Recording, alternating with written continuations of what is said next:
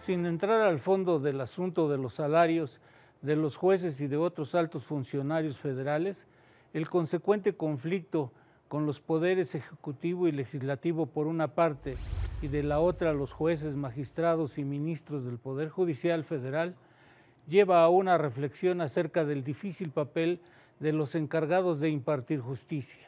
Como dice un viejo dicho popular acerca de quienes manejan los juegos pirotécnicos, si se equivocan les chiflan y si aciertan también les chiflan.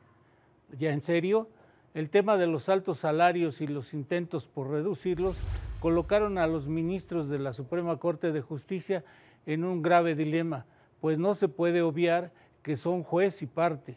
pero al mismo tiempo la Suprema Corte es realmente el más alto tribunal del país y por tanto sus fallos son inapelables.